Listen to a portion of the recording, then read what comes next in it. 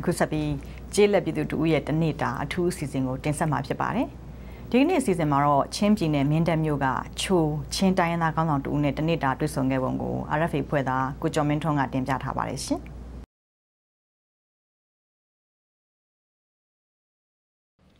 အစိုးရတဲ့တက်လာပြီးပြုပြင်ပြောင်းလဲရေးလုပ်ငန်းစဉ်တွေဟာပြည်သူအများစုနေထိုင်တဲ့ကျေးလက်ဒေသတွေအပြင်လူနည်းစုနေထိုင်တဲ့တိုင်းရင်းသားဒေသတွေမှာကောဘယ်လောက်အကျိုးသက်ရောက်မှုရှိနေပါလဲ RFA ကလက်လှမ်းမီတလောက်တင်ပြနိုင်မှုချင်းပြည်နယ်မင်းတပ်မြို့ကိုခီးရောက်ရှိခဲ့ပါတယ်။အေဘီလာတရက်နေ့ဖြစ်လို့မင်းတပ်မြို့လေဈေးနီးကမြို့တော်ခမ်းမမှာချိုချင်းနှစ်တစ်ကူပွဲတော်ကျင်းပနေတာတွေ့ရပါတယ်။မင်းတပ်စာတီဦးထန်းတန်ဟာချိုကောင်းဆောင်တူဖြစ်ပြီးချိုတိုင်းသားအဖွဲ့ CEA ရဲ့ဥက္ကဋ္ဌလည်းဖြစ်ပါတယ်။ရိုးရာဝတ်စုံပြည့်စုံဝတ်ထားတဲ့ဦးထန်းတန်ကိုနှစ်တစ်ကူပွဲတော်ကနေပြန်လာစဉ်ရေဘူးရလူမှုရေးနိုင်ငံရေးမိကွန်းတချို့ကို RFA ကမေးမြန်းခွင့်ရရှိခဲ့ပါတယ်။ ဦးထန်းတန်ကမင်းတပ်မြို့ပေါ်မှာချိုချင်းတဲ့တကူပွဲကျင်းပလာတာနှစ်ပေါင်း60ကျော်လောက်ပြီလို့ပြောပါတယ်ကျွန်တော်တို့ဒီဟာက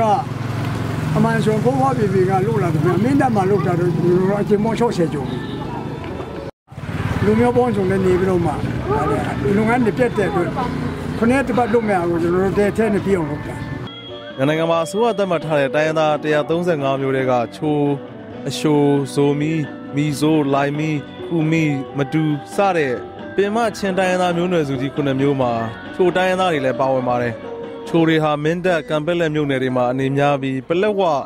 မတူပီမျိုးနယ်တွေမှာနေထိုင်ကြတာလည်းရှိတယ်လို့သိရပါတယ်။ချိုကဒီမှာမင်းတပ်မျိုးနယ်ကံပက်လက်မျိုးနယ်နော်ပလဲမျိုးပလဲဘမျိုးနယ်ချိုနယ်မတူပီမျိုးနယ်ချို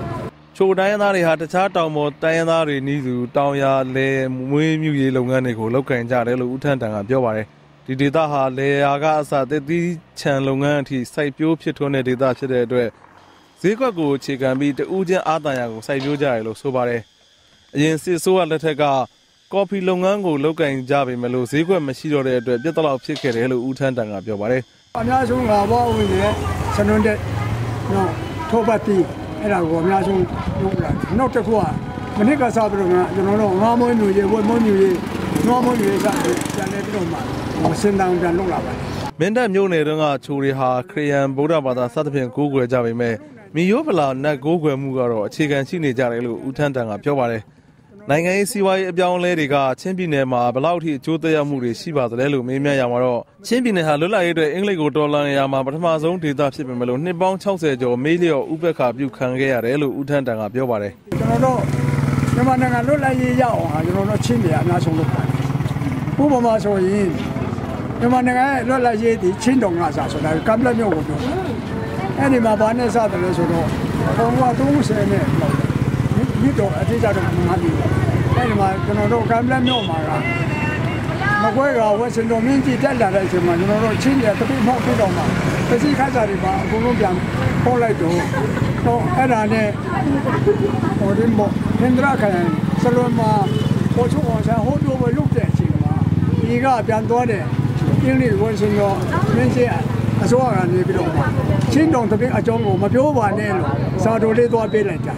ဒါနဲ့ပေါ်ချုပ်အောင်ဆန်းကဘာပြောလဲဆိုရင်ကျွန်တော်မင်းနေတဲ့အားကိုပြပေးလိုက်တော့ကျေးဇူးတင်ပါတယ်ဆိုပြီးတော့စာဟိုးလိုက်တာနဲ့ ဒီပြင်းပြအစိုးရကပေါ်ချုပ်အောင်ဆန်းဖမ်းဖမ်းရှင်းနိုင်တဲ့လူကိုစုတုံကို90ပေးမယ်ဆိုပြီးမှအဲ့ဒါစားတယ်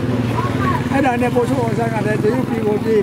လူပြေးပြေးပြီးတော့မှဟိုမှာစေယူပြီးပြန်လာပြီးမှကျွန်တော်တို့မြန်မာနိုင်ငံပြန်ရောက်ပြီးမှရဲဘော်သုံးကြီးစူစီးပြီးတော့မှဂျပန်ကိုသွားတာဂျပန်သွားပြီးမှပြန်လာတဲ့အချိန်ကျမှဒီဒေါ်လာလေးတွေဖြစ်လာတယ်ဆိုဒီကျွန်တော်တို့မြန်မာနိုင်ငံရဲ့လွတ်လပ်ရေးဟာဘယ်သူမှအငင်းမရတဲ့ကျွန်တော်တို့ချင်းတော်ရဲ့အစားဖြစ်ပါတယ် အခုစစ်ဆိုးရကနေအရသာဆိုးရတက်လာချိန်မှာကောအဆိုးတွေအကောင်းတွေဘယ်လိုရှိပါလဲကျွန်တော်တို့အဆိုးအတက်လာပြီးတဲ့နောက်ပိုင်းကတော့ကျွန်တော်တို့အမြင်ကတော့ကျွန်တော်တို့ခစ်ပြတ်တယ်ကဒီပုံ60ကျော်ပြီဒါတော့ဟိုအခုမှတရားလေးတွေ့ရတော့ဒါကဖွန်ချိုးတိုးတဲ့တွေပြောလို့မရဘူးတရားကအစားတော့ပဲပြောတယ်နော်အဲ့ဒါကြောင့်ကျွန်တော်တို့ကတိုးတဲ့မှုနှုံးနဲ့ထေးခွဲတယ်နော်နိုင်ငံတော်ဆောကလည်းကျွန်တော်တို့ကိုဟိုနောက်ကျောခိုင်းပြီးတော့မှ လူမပြည့်တဲ့ရှိတယ်အများကြီးရှိခဲ့ပါတယ်ဒီနေ့တော့မှကျွန်တော်တို့ကအပြည့်အဝဘာမှခံစားတဲ့ကျွန်တော်တို့မခံမခံယူသေးဘူးအဲဒါကတော့အစိုးရတဲ့လက်ထက်အပြောင်းလဲနေတဲ့တိုင်းရင်းသားဒေသတွေမှာအကျိုးသက်ရောက်မှုအတိုင်းအတာကိုလေ့လာဖို့မင်းတပ်မြို့ကချိုကောင်းဆောင်တူဖြစ်တဲ့ဦးထန်းတန်နဲ့တနေ့တာတွေ့ဆုံမေးမြန်းခဲ့တာကိုတင်ပြလိုက်တာဖြစ်ပါတယ်ခင်ဗျာ